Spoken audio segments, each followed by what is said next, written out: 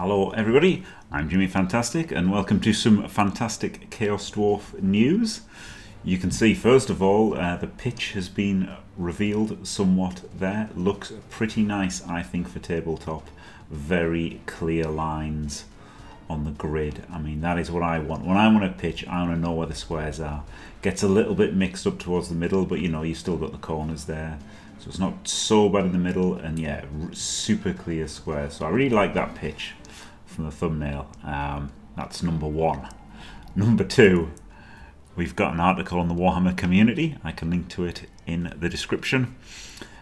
They talk about the pre-orders are coming soon, so it's about three weeks, I think, till the team will be available.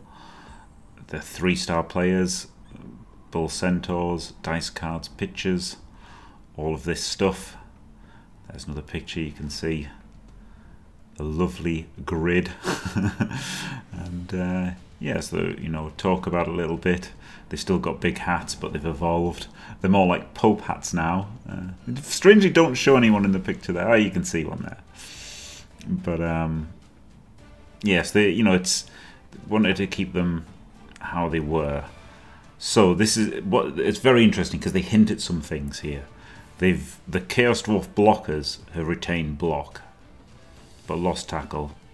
So not quite good against agile teams. Now, this is to this is to partly differentiate them from the other dwarves. So that kind of implies that normal dwarves, regular dwarves, won't be losing tackle. That was something people were a bit worried about. Also, it only says the Chaos Dwarf blockers. It doesn't say the uh, Fire Smiths.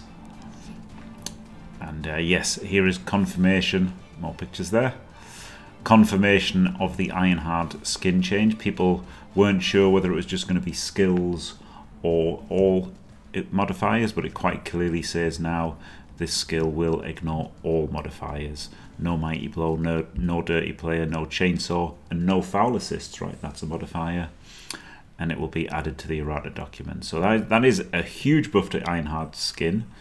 It's somewhat of a nerf, funnily enough, to, to gutter runners' randoming skills. Uh, often gutter runners will like random skills and they couldn't get iron hard skin because they weren't affected by claw anyway. But now it is going to be good, you know, for them getting fouled and stuff, right? Especially if they get plus AV.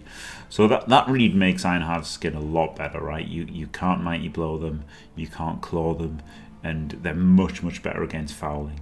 So uh, fouling is the main the main pull of the Ironhard skin, honestly. Uh, so yeah, it's gonna make gonna make like stuff like Chaos and Nurgle that can get it as a mutation. It's gonna make them more durable, and it really does make the Chaos Dwarves themselves more durable.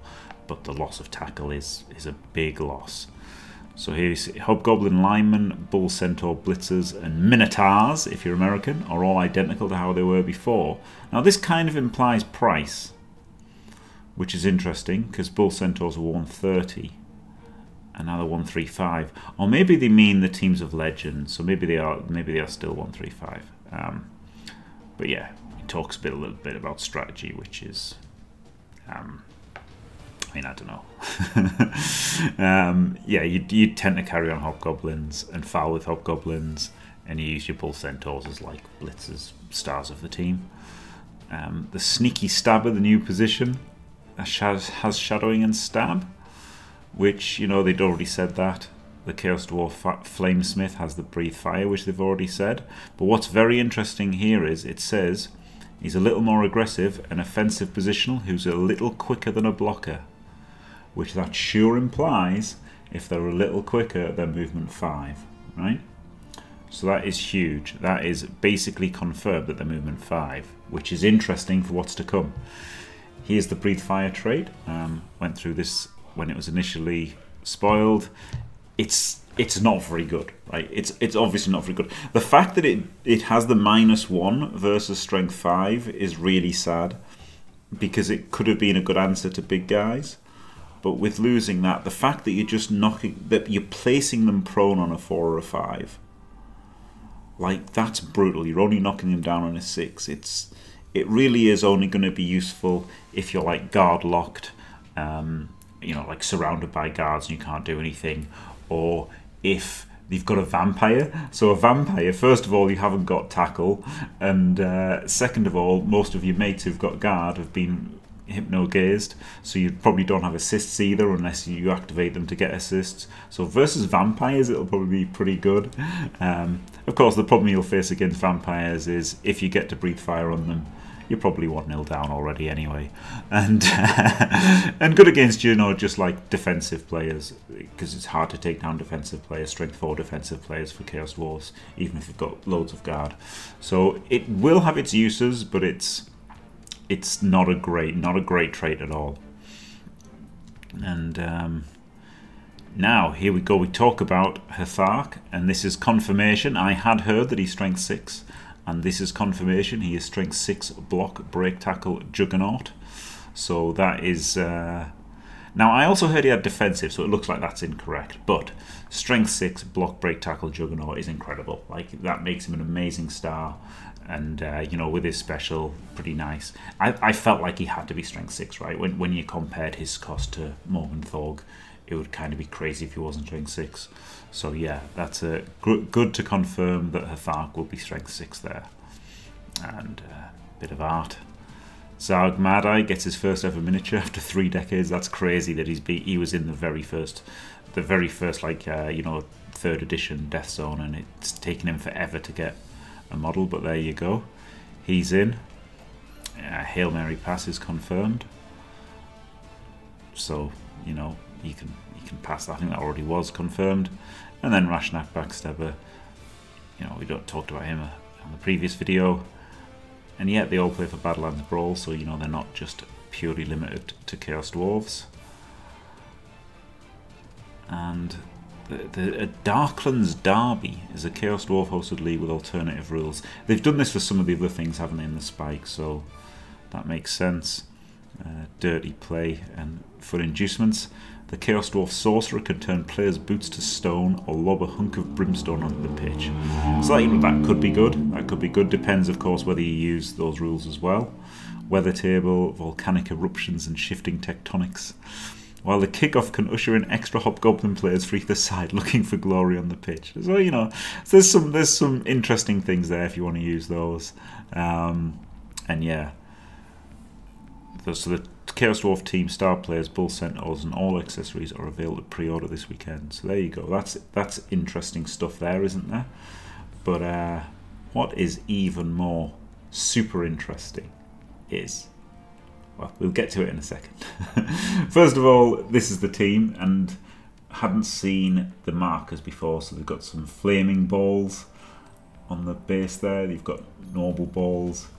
You've got, I guess these are like turn or reroll markers. I'm not really sure. And then the coin. I really like the coin. It's got the classic Chaos Dwarf logo. BB, good colours. They've painted them, haven't they? Really nice. Really nice. So I like all that kind of stuff. and that's pretty good. And then yeah, the pitch. I'm actually a big fan of the pitch, from what I've seen of it. Um, the cards, if you want to, if you're if you're going to use those, I think the dice don't look amazing. I'm not a fan of the dice there. They look pretty difficult to read.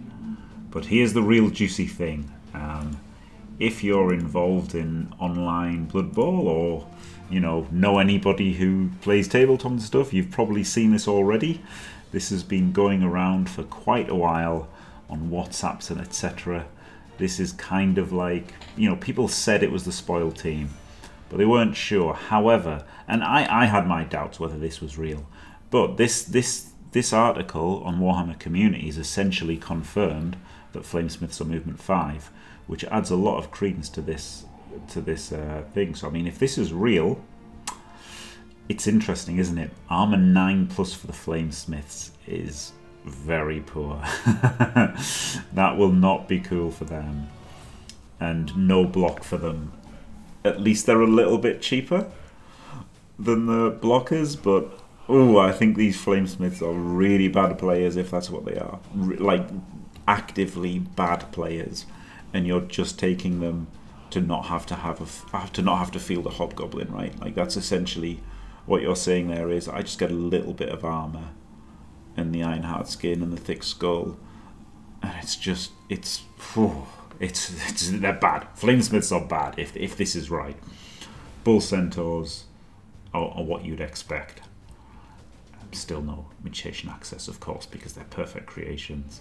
Min Minotaur, Minotaur, just the same as you'd expect. Hobgoblins, just the same. Chaos Dwarf Blockers, just the same, except they've traded tackle for Ironhard skin. Um, which, you know, that was already confirmed. And the Sneaky Stabbers only have general primary. So there was talk of them having general and agility so they could get a sneaky git, you know, that would make, make them a little bit better, but it looks like they can't get that. And again, this is not confirmed at all, but it's very interesting that they said the Flamesmiths are a bit quicker. So that, that one line in that preview is making me think that maybe this is legit. We, will find out soon enough, I, I assume. But um, there you go. Anyway, if you haven't seen this, there it is. So uh, yeah, um, lots lots to think about. I mean, there's no point really speculating on this, right? Because we, we don't know that this is true, but um, you know, I'm, I'm sure it'll be spoiled uh, soon enough. All of the all of the official rules, and then I can do more of a look at the at the things when it's all official. But for now, super interesting, lots to think about, and uh, it'll be cool to see them on the pitch very soon. Thanks for watching, everybody. Don't forget to leave a like and subscribe, and stay fantastic.